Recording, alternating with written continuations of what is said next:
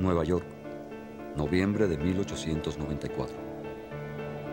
José Martí, delegado del Partido Revolucionario Cubano, espera del generalísimo Máximo Gómez la aprobación del plan de invasión a Cuba.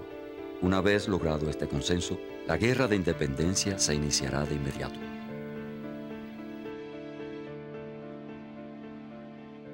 En Cuba los nuestros están bajo una presión insoportable de los españoles. Pero todavía debemos esperar la conformidad de Gómez.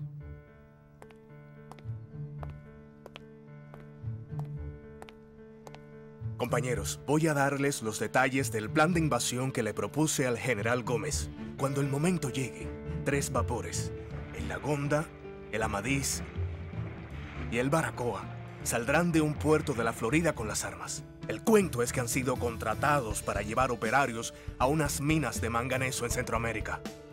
Uno saldrá hacia Santo Domingo a recoger a Máximo Gómez y 200 de los suyos que desembarcarán por el sur de Camagüey. La Habana, Palacio de los Capitanes Generales, sede del gobierno colonial de Cuba. Y dicen nuestros agentes que algunos cubanos revoltosos han estado vendiendo apresuradamente todo su ganado en Oriente. Así es, Excelencia. Pero los mantenemos vigilados.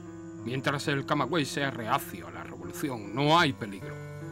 La región central es la llave del independentismo en Cuba. Ojo a visor, coronel. Oriente es la caldera de todas las tentativas separatistas. Es allí donde debe usted concentrar la vigilancia. Como usted ordene, Excelencia.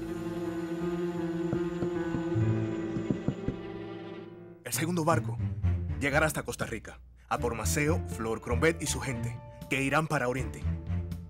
La tercera expedición saldrá desde la Florida rumbo a las villas con los hombres de Serafín Sánchez.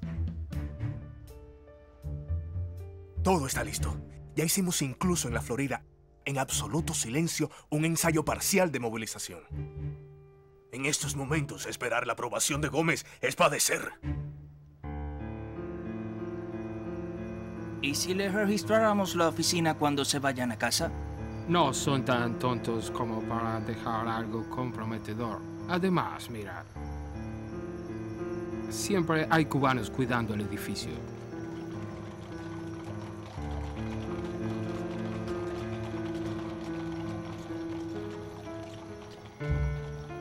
¿Y ese quién es?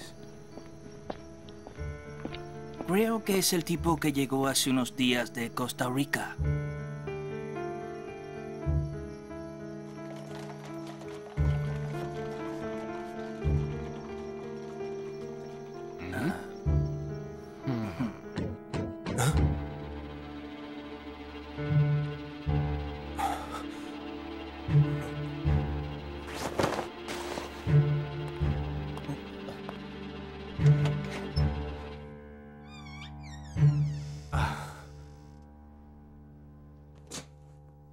Es Enrique Loinas. Pasa, hijo.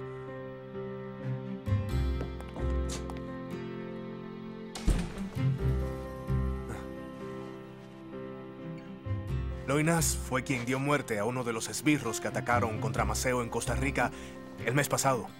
Martí, esta noche vamos a recibir al comandante Collazo. Es cierto.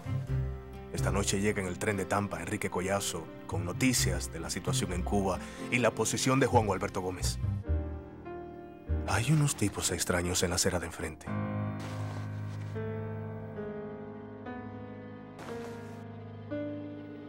Vámonos por la salida que da a la otra calle.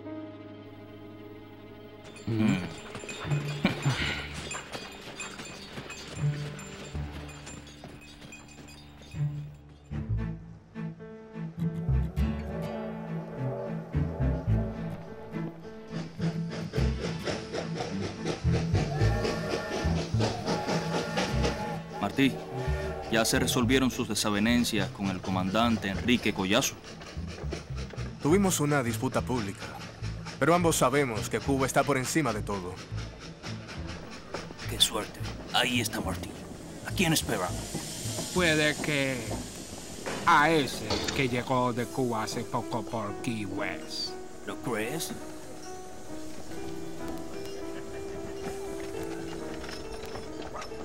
Desde allá nuestros agentes nos informaron que tomó este tren.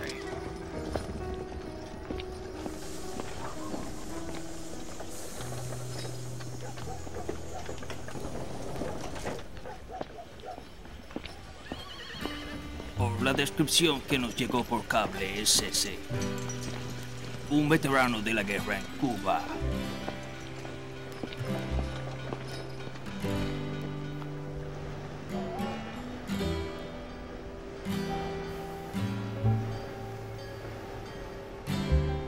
Usted no ha tenido quien le atacara con más rudeza que yo ni con más injusticia.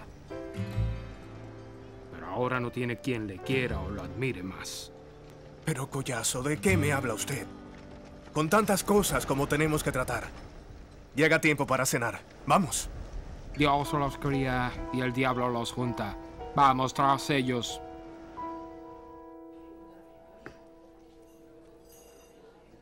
Juan Alberto Gómez piensa que si se retarda más el momento del alzamiento, muchos podríamos caer presos. En Cuba podemos comprar las armas más caro, pero más rápido. Collazo, las cosas están muy adelantadas, pero todavía no llega la aprobación del general en jefe Máximo Gómez.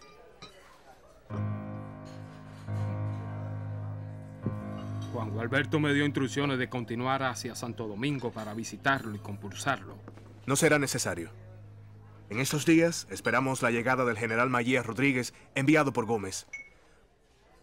Ustedes se hospedarán juntos. Se van y no escuchamos que hablaron.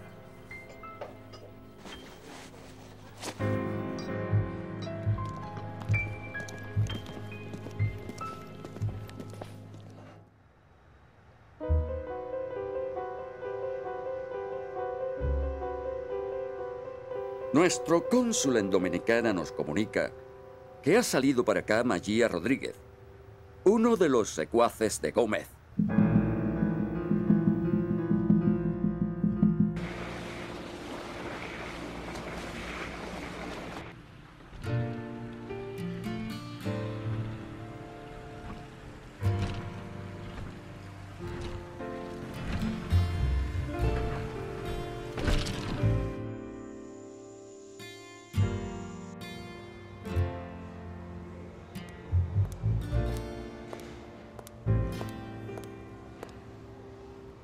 General Mayía.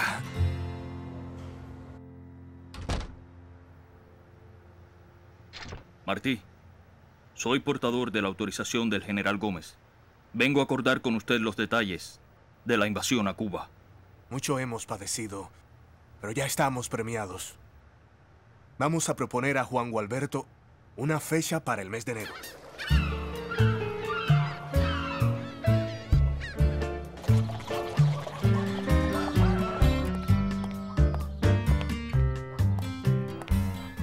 Juan Gualberto, ha llegado un hombre de Nueva York. Dio la contraseña. Que pase, que pase. Al fin. Cita con discreción a los compatriotas. Hay buenas noticias. Hace unos días me entrevisté con Nathaniel Borden. Él fletará los tres barcos en el puerto de la Fernandina. Es un hombre de honor que conozco hace tiempo. Por fin mañana llegará el representante de Serafín Sánchez desde la Florida para ajustar todo lo de su grupo. Maestro, aquí está el coronel Fernando López de Queralta, el hombre de confianza de Serafín Sánchez. Buenas. Por mi experiencia anterior he sido designado para ultimar con usted los detalles de la expedición. Sea bienvenido, coronel. Solo nos faltaba ajustar con el grupo de Serafín. Ni aquí, ni en Cuba, ni en España saben a lo que nos abocamos. Cuba está más cerca ahora. Ahora ha de creerse en Washington, en La Habana y en Madrid que andamos lejos. Para poder deslizarnos bajo esa cubierta, juntar corazones y empujar la revolución.